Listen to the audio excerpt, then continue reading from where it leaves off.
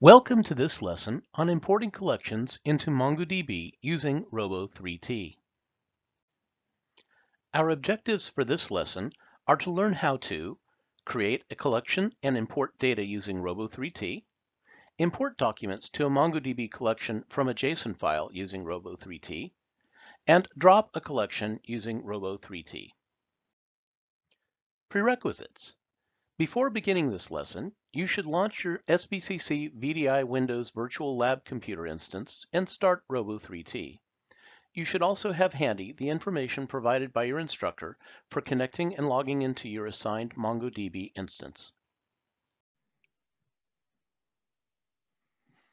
Creating a new collection in MongoDB using Robo3T.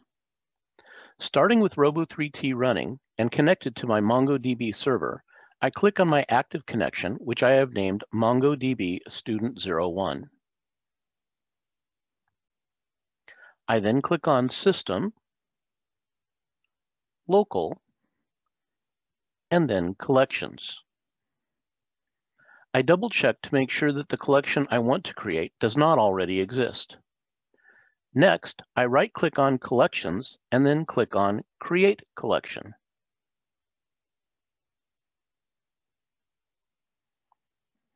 I entered the, I enter the desired collection name, in this case, restaurants.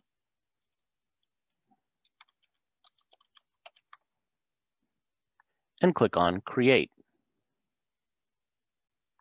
The empty collection has now been created.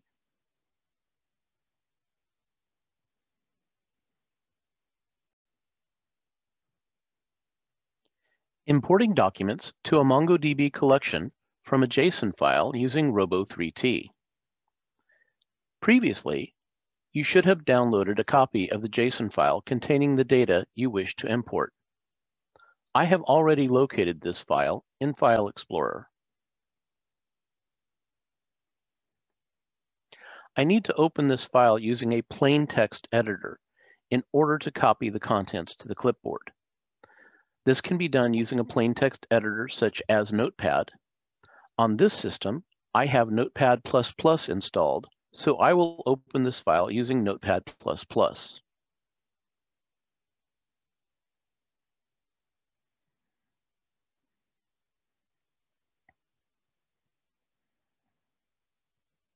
I select the entire contents of this file using the keyboard command Control A, and then copy it to the Windows clipboard using Control I then switch back to my Robo3T window. I want to import this data into the restaurants collection, which I created in a previous step and which is currently empty. I right-click the restaurants collection and select Insert Document.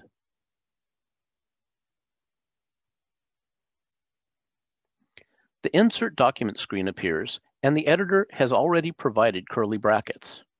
Since my JSON file already contains the required curly brackets, I do not want to use these. I will highlight them and then press Control V to paste the JSON text I previously copied to the clipboard. This content will replace the selected content, including the curly brackets. Be patient. We are pasting a lot of text, and this may take a few moments. Next, press Save to insert this data into the collection.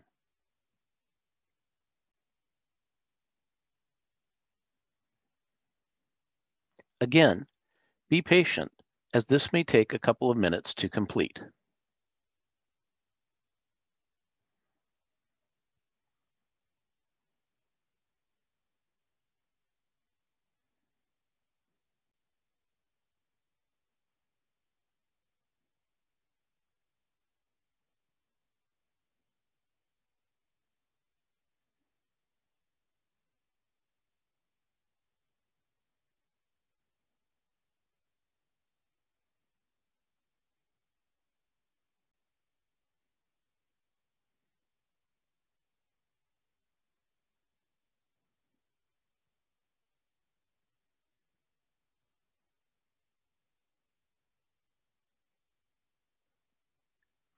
To see the documents you have just inserted into the collection, right-click on the Restaurants collection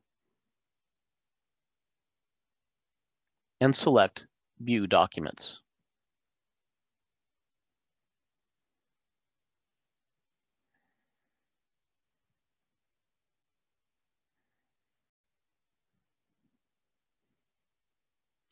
Dropping an existing collection from MongoDB. Here, I have Robo3T running and connected to my MongoDB server. I click on my active connection, which I have named MongoDB Student 01, then System, then Local, and finally, Collections to show the available collections. I would like to drop the Restaurants collection. I right-click on Restaurants, and then choose Drop Collection. And say Yes. The collection has now been dropped.